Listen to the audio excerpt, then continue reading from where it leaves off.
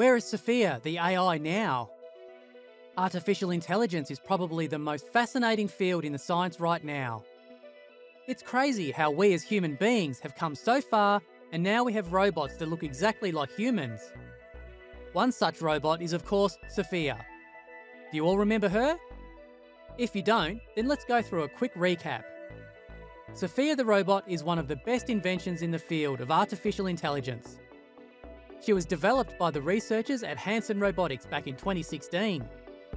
While she doesn't look exactly like a human, she comes pretty close to it. Even more fascinating is that she can carry out most of the tasks that humans can. However, it's been a pretty long time since we last heard of her, so let's see where she is right now. Hey guys, welcome back to our channel, and I hope you're all safe and healthy. Today's video is going to be very interesting, as we are going to talk about Sophia the robot. Specifically, we're going to talk about where she is right now. This video is going to give you a better understanding of how much humans have accomplished when it comes to artificial intelligence. So without further delay, let's get started. Sophia was developed by David Hanson back in 2016. Well, he wanted to make a social humanoid robot that could assist human beings in decision making. And it seems he was quite successful. If you just watch a video of her, you'll realise that her manners, gestures, and conversational skills are pretty similar to us as human beings. So much so that in 2017, the Saudi government decided to give her Saudi citizenship David Hanson even went on to say that Sophia could advocate for women's rights with her newfound citizenship. Well, who knew a robot could do that as well? Now, we all know that Sophia's entry into the modern world has been groundbreaking. Through her existence, AI researchers have managed to prove that a world filled with robots is in the near future. Since her development, Sophia has appeared on many talk shows, attended business meetings, and she even attended forums across the world. On top of that, she has travelled to more than 66 countries. With the passage of time, Sophia has been altered and developed even further. Along with that, Hanson Robotics also introduced her whole family. Guess how many robots there are in a robotic family? Well, we don't know about the rest of the robots, but Sophia's family has nine robots. Among them, we have Sophia's little sister, who was introduced in 2018 and went on sale in 2019. Sophia's little sister can sing, walk, dance, track faces, and tell jokes just like Sophia. But her main purpose is to introduce kids to STEM and help them learn to code. 2020 has been quite significant for Sophia. Hanson Robotics introduced a new 2020 version of Sophia with even better features.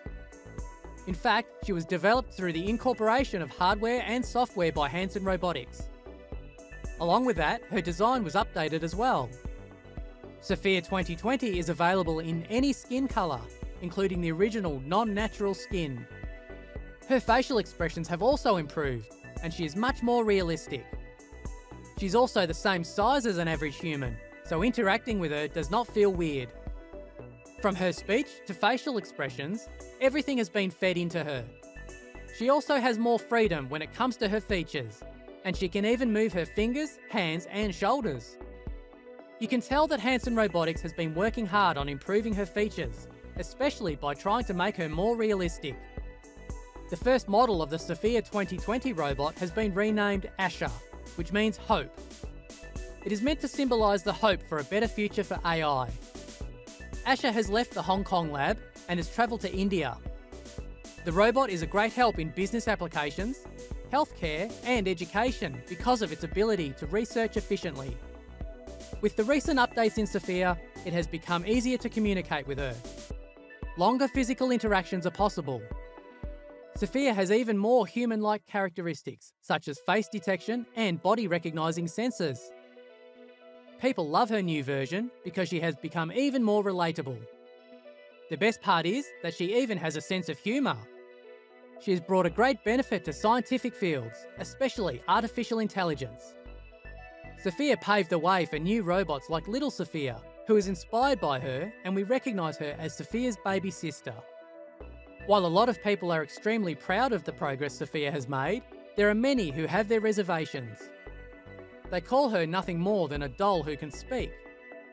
Do you agree with that? Sounds like an extreme opinion, don't you think? Sophia is not just a talking machine. but in fact, she is a robot who can help us understand human behaviour. On top of that, she can help humans in decision making, and she's also working on a better, more sustainable future along with her designers. Her presence on screen helps her creators to educate a larger group of people about technology. It's pretty ironic when you think about it. AI helping people understand AI. So, what do you think about Sophia 2020? And what do you think AI will accomplish in 2021? Do you find it all fascinating, or are you scared about how far things can go? Tell us your take on all this in the comments below. I hope you all enjoyed watching this video, and I hope you learned something new. Don't forget to hit the like button on your way out and subscribe for more content like this. Thanks for watching.